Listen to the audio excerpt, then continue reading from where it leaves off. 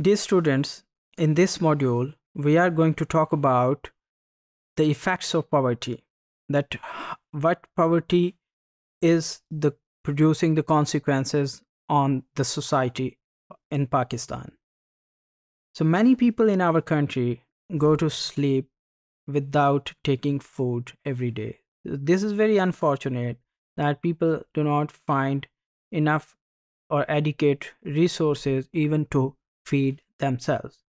The people living below the poverty line are also susceptible to chronic diseases and are also vulnerable to other petty crimes. So a huge chunk of population in the country has no access to the basic healthcare system and 44% of the population has no access to clean drinking water. So all these factors are pretty much considered the effect of poverty. But let's talk about certain different aspects or certain different effects of poverty one by one, uh, which are pretty much interrelated to each other. However, if we look closely, these aspects are considered very important from the developmental aspect. So let's look at them one by one. Number one is child labor. Right now, we have more than 12.5 million children who are involved in child labor. So these children are between the age of 10 to 14 years of age, and 61% of these children are boys, and most of them are living on the street, and 88% of these children are from rural backgrounds. So you see that these uh, poverty is one of the major contributive factor on the child labor because uh, if the parents are poor they are unable to afford so they force their children to go out and earn for themselves. And then we have the crime and violence. According to pakistan crime and safety report of 2019 there were 29900 property crimes in one year and 379 murders, 1220 assaults, and 2650 kidnappings. So, uh, 3115 robberies, uh, 4300 vehicle theft, 3700 motorbike thefts. So, you see that all these crimes are uh, pretty much reflexive of poverty as one of the pushing factors to the criminals or one of the justifications for their crimes that they say that they are not having enough means of subsistence so they had to engage into antisocial activities. But then we have the terrorism that pakistan is facing the serious issue of terrorism in the 21st century. There a strong relationship has been observed between poverty and radicalization usually those people who are engaged in terrorism activities especially the unfortunate suicide bombers who were radicalized they were mostly from the poor background.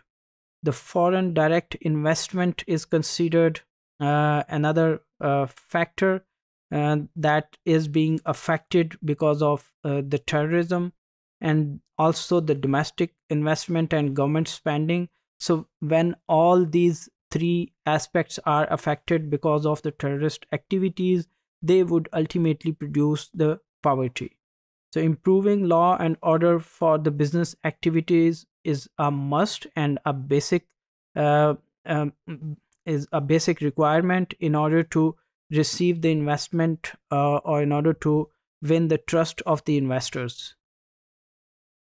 And then we have the health problems uh, because of the poverty according to who 2019 uh, neonatal mortality in pakistan is 49 children per thousand live births whereas the infant mortality is 55 children per thousand live births. So you see that most of these problems are directly the effect of poverty in pakistan because people are unable to afford the health services and health facilities so they are vulnerable to all these issues And then we have the homelessness, that there are 20 million homeless people in the country.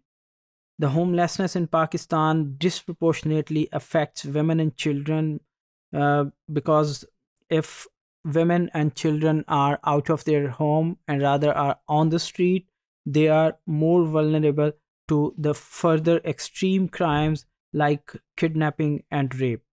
And multidimensional poverty is a factor for the homelessness in Pakistan. So it is uh, consequently affecting for people for being homeless because even when they cannot afford their means of subsistence, they are unable to afford housing uh, or safe living for themselves. We have the shorter lives uh, as compared to the other countries, especially the developed countries. Currently, Pakistan's life expectancy is considered to be 67 years, whereas uh, in extreme cases where we have uh, impoverished population, this life expectancy can go further uh, can be lowered down. Uh, so it means that the poverty has a direct effect on the life expectancy of the people. When we do not have enough food, we do not have enough resources for the survival, our life expectancy is under threat. And juvenile delinquency is another direct consequence of poverty. Mostly the poor children are involved in petty crimes, and that's why they become the criminals and around 2000 juveniles are imprisoned in pakistan right now they tend to commit de- delinquency to feed not only to feed themselves but also to feed their families and all these uh, factors can be contributive to the hunger as well because if you do not have uh, resources for survival the hunger would be the direct consequence of that situation. So Pakistan is ranked 78 out of 113 countries in the Global Food Security Index of 2016. So this is another very sorrow figure for Pakistan that it is positioned on 78 among all the available countries and 43% of Pakistani population is facing the food shortage or food insecurity, whereas the 50% of children below the 5 years of age in Sindh province are considered stunted, which is also another direct consequence of poverty. And Pakistan is ranked 106th out of 119 countries on the global hunger index. So all these figures reflect that poverty has a lot of dangerous and dire consequences on the population as a collectivity that needs to be addressed adequately.